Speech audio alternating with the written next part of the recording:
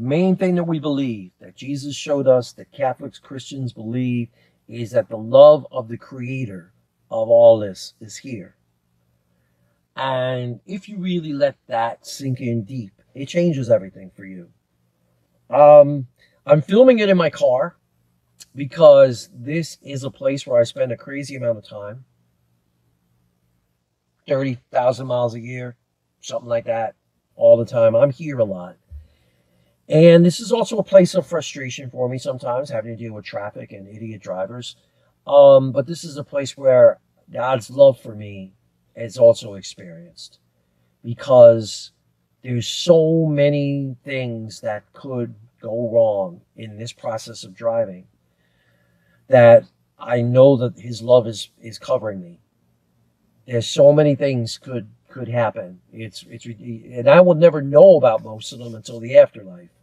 Ways in which my life has been saved, in which he has been looking after me.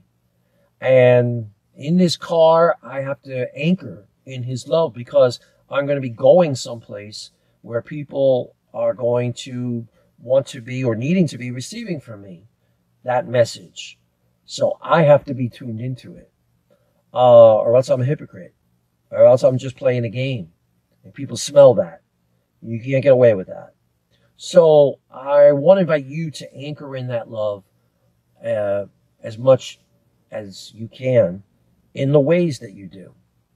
Okay? The ways in which He's loving you through the people of your life, through the good things happen that you're aware of and the ones that don't uh, that I mean that, that, that you're not aware of, and um, just see yourself covered with that love. I believe it changes things a great deal. You're going to do one thing that really change your life, do that. Okay? Um, I'll be praying for you. I want more than anything for you to have that love, that sense of you're not alone as you go through this life. That no matter what happens to you, um, you're blessed. You're loved.